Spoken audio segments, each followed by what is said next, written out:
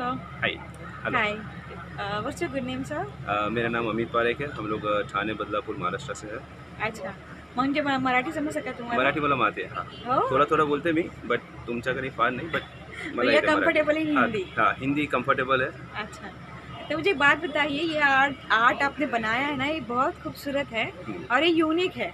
मतलब मैंने अभी किसी कहाँ पे नहीं देखा है। हम्म, तो ये आपको प्रेरणा कहाँ से आई ये बनाने हम लोग का ये हॉबी है अच्छा। हॉबी था। हॉबी से ये पूरा बिज़नेस बना है। और ऐसे ही हम लोग फ्लावर्स और क्राफ्टिंग हम लोग करते रहते थे बचपन में। स्कूल में हम अक्सर लेक्चर होता था पहले तो मस्ट होता था कि आपको आर्ट के साथ क्राफ्ट का लेक्चर होता था। अच्छा। तो ये क्राफ्टिंग तो पहले से था मेरे वाइफ बनाती है।